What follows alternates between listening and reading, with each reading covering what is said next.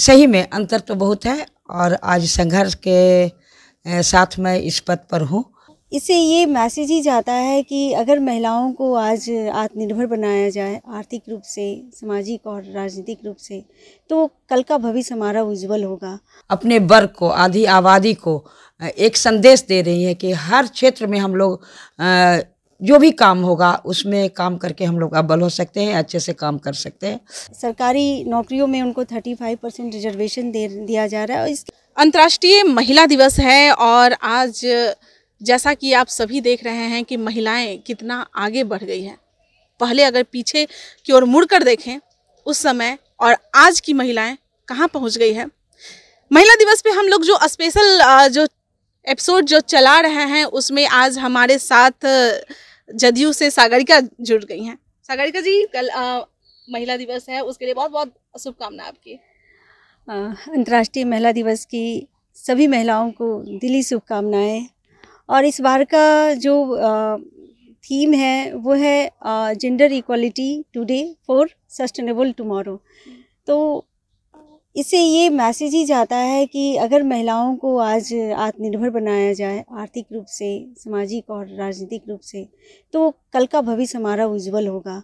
और माननीय मुख्यमंत्री जी भी इन सब चीज़ों पे काम करने के लिए समाज सुधार अभियान चला रहे हैं, जिसके तहत कि सबसे पहले महिलाओं को इंडिपेंडेंट बनाने के लिए फ्री एडुकेशन दिया जा रहा है।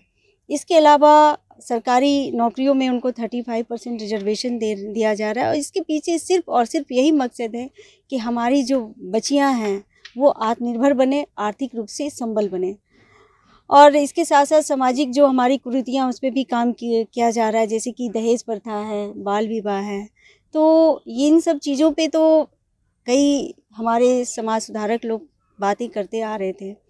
लेकिन इस पर अभी तक इम्प्लीमेंटेशन नहीं हुआ था। पहली बार कोई राजनीतिक पर्सन ने इस पर काम किया है तो वह बिहार के माननीय मुख्यमंत्री श्री नीतीश कुमार।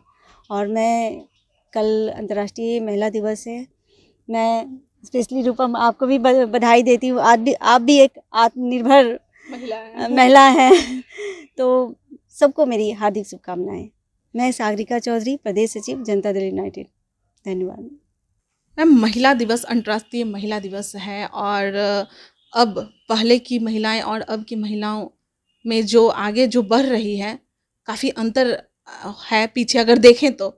आप भी एक महिला हैं और इतने ऊँचे पोस्ट पे आ गई हैं।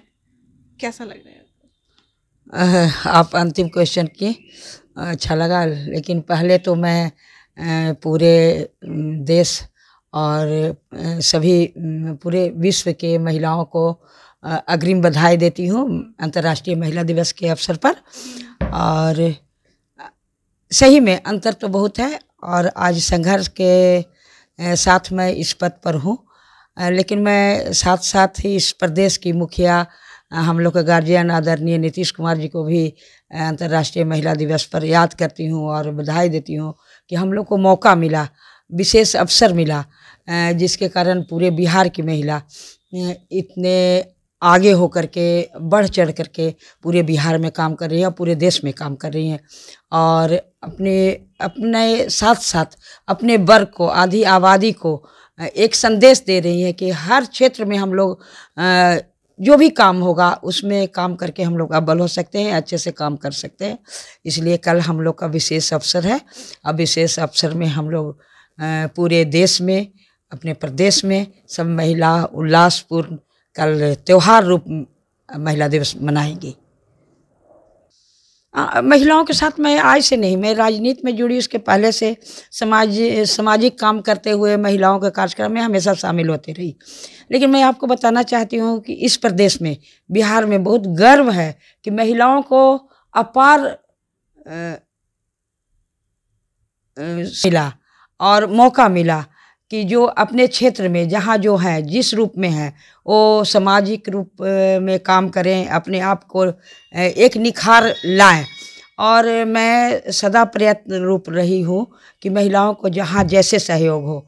जैसे आपको एक छोटा उदाहरण देती हूँ कि महिलाओं के लिए मुख्यमंत्री ने, आदरणीय नीतीश कुमार जी ने पंचायती राज में आरक्षण दिया। आपको टीचर की बहाली हुई, उसमें हुआ।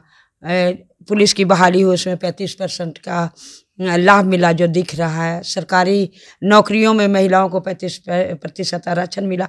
तो बहुत महिलाएँ ऐसे हैं जो अभी भी संकुचित है। अभी भी बाहर से निकलने में लोग को संकोच हो रहा है या पारिवारिक प्रॉब्लम आ रहा है। तो हम लोग मिलते हैं और उनको प्रेरणा देती हूँ कि आप बाहर आएँ।